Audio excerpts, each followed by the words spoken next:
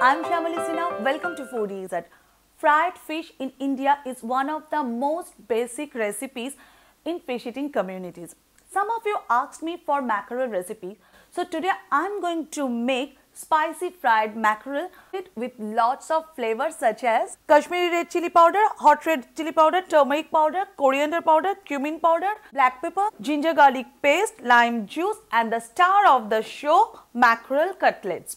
First I am going to make the marinade in this baking tray. I am going to transfer all of this ginger garlic paste and all these dry spices or ground spices and then I will add this lemon juice. Now if you don't eat mackerel then you can cook this dish with some other fishes. Now I am going to add salt to this marinade and with this fork I am going to mix everything. I need to add couple tablespoon of water mix it. Okay. So it's done. Now I'm going to add my fish and I'm using my hand but if you wish you can do it in a ziploc bag. Rubbing the both sides. And like this I'm going to continue rest of them and this is the last one and I'm going to cover it with a cling wrap and let, let it marinate for at least half an hour and then we'll fry it.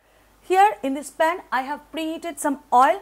I am using mustard oil as usual but you can cook with vegetable oil too.